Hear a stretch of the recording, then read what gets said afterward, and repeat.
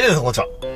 カニコでございます。ということで、今日もね、このアングルからスタートなんですけど、漁港にやってきております。変な魚おじさんから連絡があって、何ですかって聞いても教えてくれないんで、ちょっと市場行って、変な魚おじさんを探していきましょう。さあ、多分ね、いつものとこにいるから、あ、おったおったおった。生かしてる。生かしたる。生かしたる。生かしたる。一体何なんだろう。あのね、時期外れのもの。うわ、教えてくれ。今今です教えてくれないもん、ね。まあ、後でね。今じゃあ行こう。行こう行こう。ちょっと掴んで、ちょっと待って。何見ちゃないまだじゃあ、何今。でかいな。うわ。うわ。これ、すごいだ、この歯。これ生きとるね。生きとる生きとるあんこじゃん。ほらほらほら。うわすげえ。これな。えー、あんこってさ深海魚だからなんかこういうとこではもう生きないかと思ったら結構いけるよ、これめっちゃ元気じゃん。まあ、あの、鍋以外で作ってね。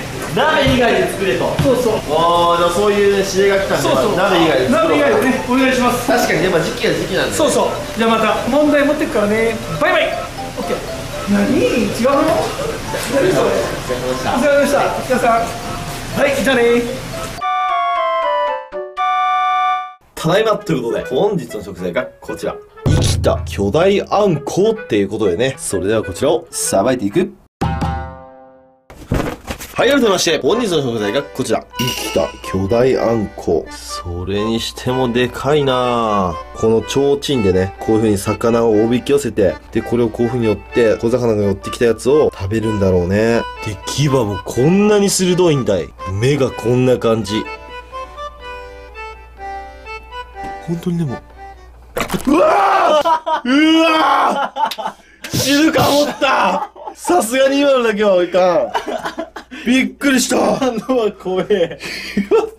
危ない。みんな危ないです。生きたあんこはね、危ない。つけてくださいね。いやーでもこうしてみると、でかいな巨大あんこっていうことでね、変な魚おじさんも言ってたんですけど、時期が外れてるんで、少し痩せてるような感じはしますね。はい、ということで、今日はせっかくこのね、鮮度に生きたあんこが手に入ったということで、ちょっと変わったあんこのしゃぶしゃぶ作っていきたいなと思います。あんこの身とね、皮をしゃぶしゃぶして、お野菜と一緒に食べる感じ。絶対美味しいと思うんですよね。じゃあまずこちらをね、さばいていきますね。まず、ちょっと危ないんで、まず閉めていきます。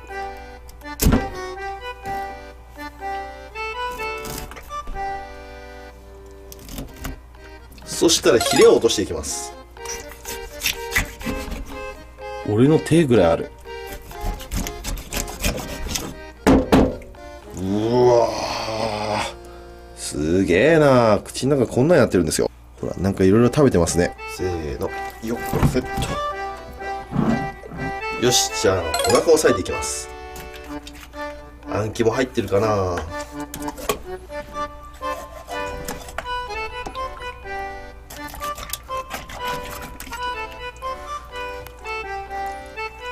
お、あん肝入ってる入ってる。これがあん肝ですね。まあ時期に比べてはちょっと痩せてますけども。はい、そしたらこちらがね、胃袋ですね。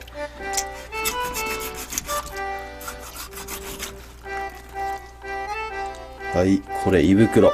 胃袋の中何が入ってるか。さあ、出てこい。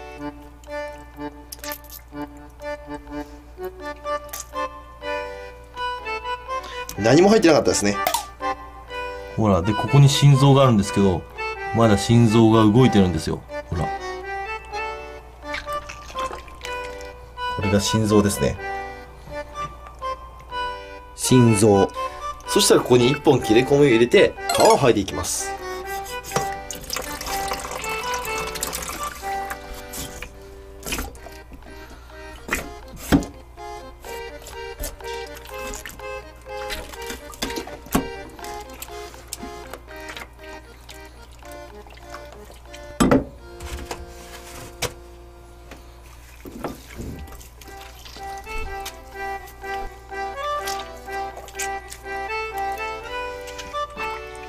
こちら側の皮がめくれましたら、次は、こっちの表側も皮むいていきます。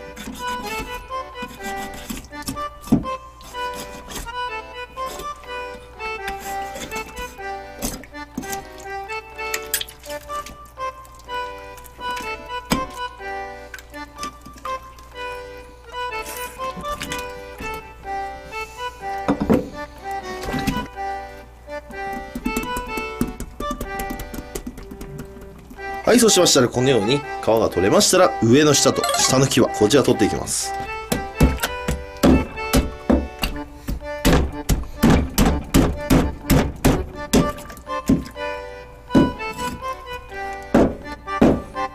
下の顎。あんこをね、これ同じサイズでも生きてるだけで、めちゃくちゃさばきにくい。ぬるぬるが邪魔して、なかなか包丁がうまく入っていかないんですよね。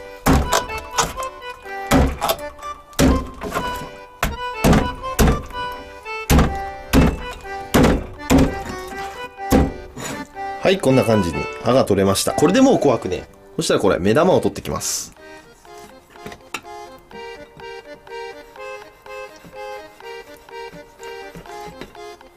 これがあんこうの目玉ですね。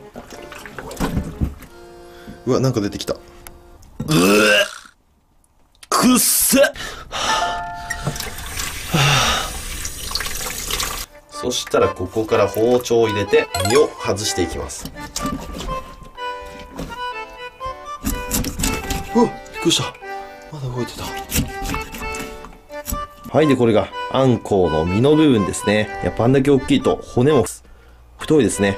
はい、そうしましたらこちらをおろしていきます。あんこはね、大名おろしで OK です。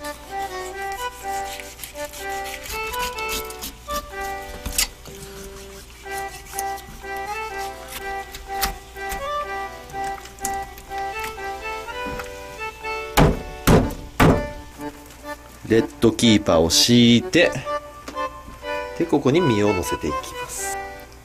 よいしょ。これうまそうだな鍋にしたら美味しいだろうなで、肝、心臓、ボウルに塩。たっぷりと、そこに皮を入れていきます。で、塩をこうやってなじませて、ぬめりを落としていきます。相当ぬめりが出ますんでね。ほら、これ、全部ぬめり。すごいでしょう。はい、そしたらネットに入れていきます。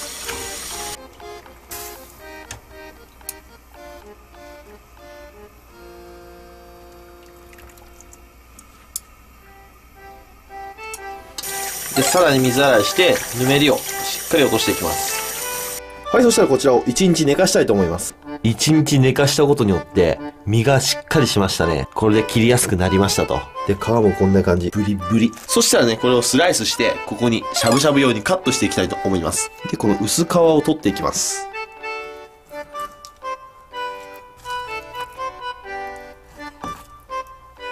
こんな感じですね。で、切っていきます。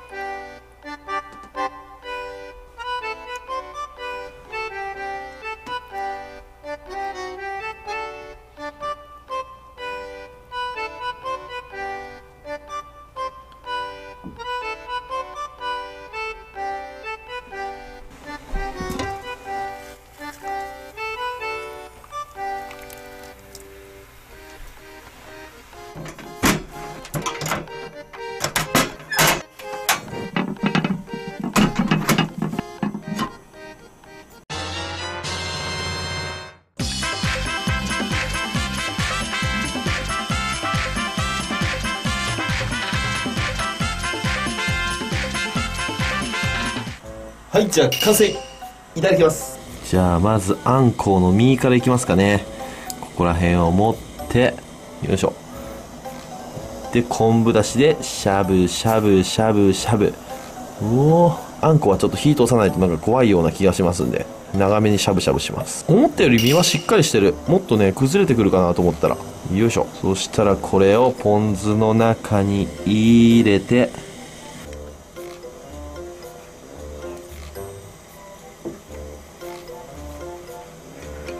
うまいもっとね、こう水っぽいかなと思ったんですけど、全然しっかりしてるね。なんならフグよりしっかりしてるかもしんない。このあんこのしゃぶしゃぶはね、新鮮だからこそできる食べ方だと思う。だからスーパーとかで売ってるやつはちょっと難しいかもしんないけど、ああいう生きたあんこだからできるんだろうな、これ。そんじゃ次は肝と皮を一緒にしゃぶしゃぶして食べていこうかな。こんな感じで、これを入れて肝はねちょっと怖いので長い時間しゃぶしゃぶしますもしアニキサキスがいたら大変なんでねお鍋の中に皮に肝が入ってますね。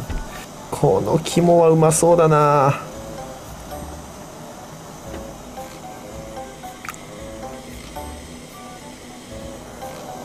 で皮もいい感じになりましたと。うまそう。じゃあ肝いただきます。うまい。びっくりだこんなにね新鮮なあんこうの肝初めて食べた全く臭みがないあんこうってなんかちょっとね癖があるじゃないですか全く癖がないそれにね、多分これ薄く切ってしゃぶしゃぶしてるから血が抜けやすいんでしょうね。あんこうの中の。あん肝しゃぶしゃぶ。これ流行るかもね。次はこの皮。コラーゲンたっぷりの。でもあれコラーゲンって体に吸収されないんだもんね。前の動画でも言ったけど。いただきます。うーん。うまいとかもないけど、プリプリ感が気持ちいい。はい、ということで、今日はこちらのあんこうしゃぶしゃぶときましたら、この今のこちらでやっていきたいと思います。せーの、でん黄色のやつロングプロジェクトロングバージョンロングバケーション。ロングバケーションは違うか。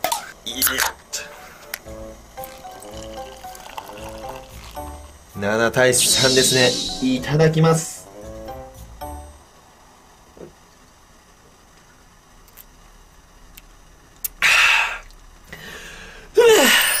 生まれ変わったらあんこになりたいよそれじっくり食べていくよ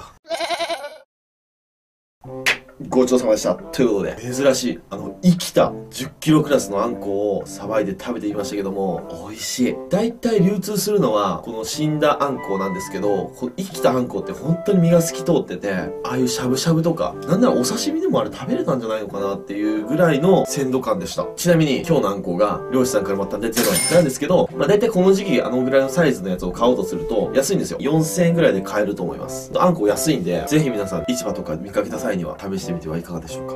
あんこのシリーズ、また見たいなと思う方は、ぜひぜひ、高評価よろしくお願いいたします。チャンネル登録もしていただけるととっても嬉しいです。あと、チャンネル登録者70万名様、ありがとうございます。これからもね、頑張っていきます。ということで、今日はご視聴ありがとうございました。バイバイ。